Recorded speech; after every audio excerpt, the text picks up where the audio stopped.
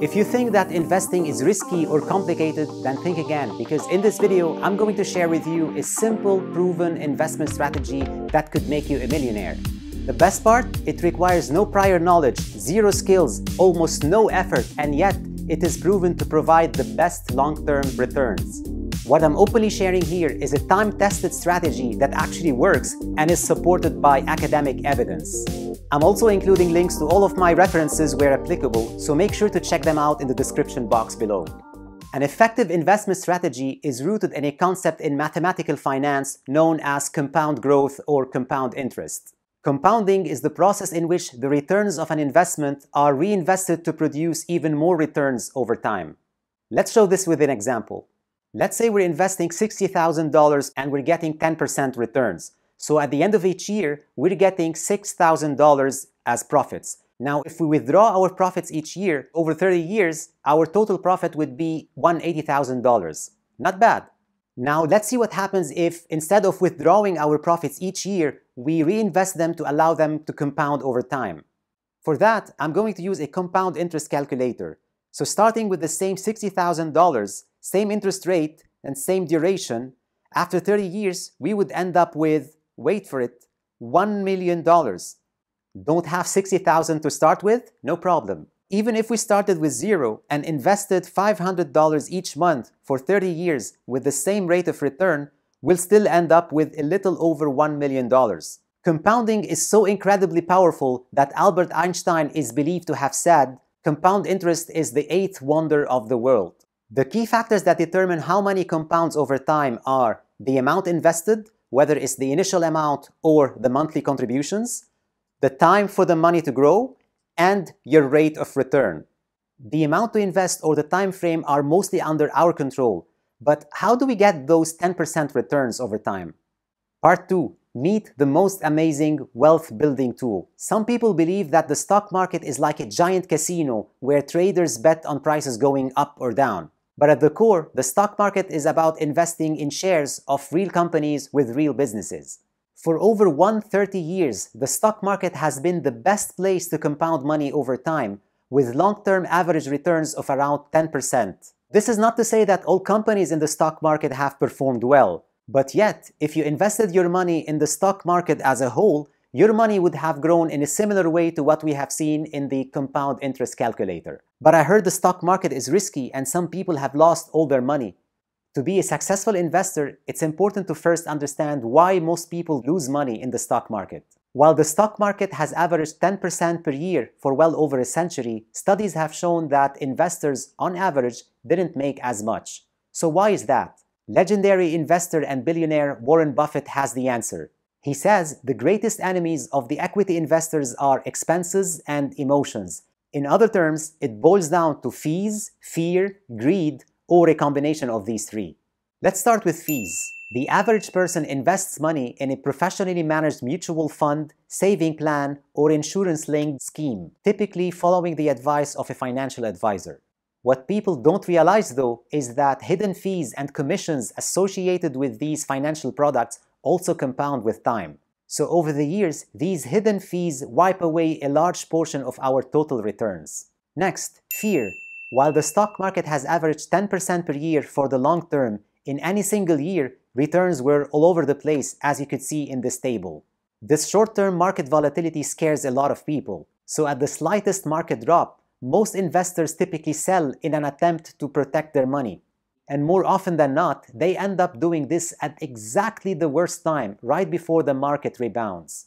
Remember, even when the market drops, if we don't sell, we don't lose. Greed. Some investors believe in their own ability to outsmart the market. Ironically, these are the most financially savvy out there. So they try to cherry pick individual stocks or attempt to time their trades depending on economic forecasts or other indicators. But again, empirical evidence proves that picking individual stocks is a loser's game. It's extremely difficult to match, let alone beat, the stock market returns over the long term. Even full-time investment professionals fail to do so reliably or consistently. So what are the odds of someone like you and me? But my cousin bought Tesla stock and made 80%. My best friend made 1000% with Dogecoin last year. Well, these guys were lucky, but don't believe that they or you and I could repeat what was a one-time lucky strike. In his best-selling book, The Psychology of Money, Morgan Housel explains it best. He wrote, but good investing isn't necessarily about earning the highest returns. It's about earning pretty good returns that you can stick with and which can be repeated for the longest period of time. That's when compounding runs wild. Princeton University professor Burton Malkiel agrees. In his 1973 timeless classic, A Random Walk Down Wall Street, he wrote, It is not hard to make money in the market. What is hard to avoid is the alluring temptation to throw your money away on short, get-rich-quick speculative binges. Therefore, successful investing is not about luck. It's about being patient and consistent for the long term. Part 4. A proven investment strategy. So what's the best strategy to get the long-term returns of the stock market? Before we answer this question, if you're getting value out of this, please hit that like button on YouTube. It helps me a lot in growing the channel and helps others discover that video. Now back to our topic. By investing in a portfolio that owns shares of all companies in the stock market and then holding it for the long term, we are guaranteed to get the average returns of the market. But again, buying shares of all companies that make up the stock market is totally impractical so how do we do it? Well, luckily for us, in 1975, John Bogle, the founder of Vanguard, created the first index fund. And ever since, investing has never been the same. So what's an index fund? Let's break it down. An index is a benchmark or a hypothetical collection of company stocks that make up a certain financial market. An example is the popular S&P 500.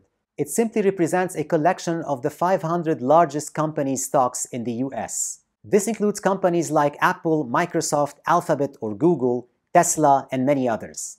An index fund is a fund that pools money from investors and systematically invests in all components of that index. So when you buy shares in an index fund that tracks the S&P 500, you indirectly own shares in all 500 companies that make up that index. By owning a global stock market index fund, you literally own thousands of companies that are conveniently packaged in a single low-cost index fund.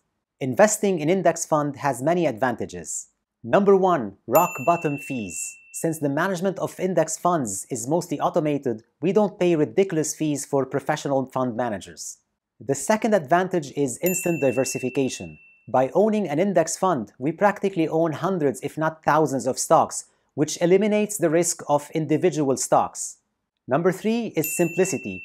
By investing in index funds, you don't have to spend any time researching individual stocks or following the financial news. Number four, unbeatable long-term returns. Over the long term, index funds have outperformed the vast majority of professionally managed mutual funds. This has been proven time and again in multiple studies. Therefore, investing in index funds is the best long-term strategy for building wealth. And this is not just my opinion. In his 1993 letter to his shareholders, Warren Buffett wrote, A low-cost index fund is the most sensible equity investment for the great majority of investors. He also added, by periodically investing in an index fund, the know-nothing investor can actually outperform most investment professionals. If this is the advice given by the most praised investor that has ever walked the earth, I think it would be wise to listen. And it's not just Warren Buffett.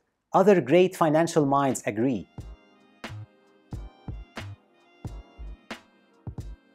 Now that we know that buying index funds is the best investment strategy for the long term, the next question is, how do we actually invest in index funds? While investors in the US and a couple more countries can buy index funds directly from index funds providers such as Vanguard, the rest of us are not really that lucky. Therefore, people around the world in general, and in the Middle East in particular, would have to buy index funds in a slightly different way. So click or tap this video card on the screen where I show you how to buy index funds. Or alternatively, click or tap this card to watch another video. Remember to subscribe if you haven't to get notified when my next video comes out. Thanks again for watching and I'll catch you in the next one.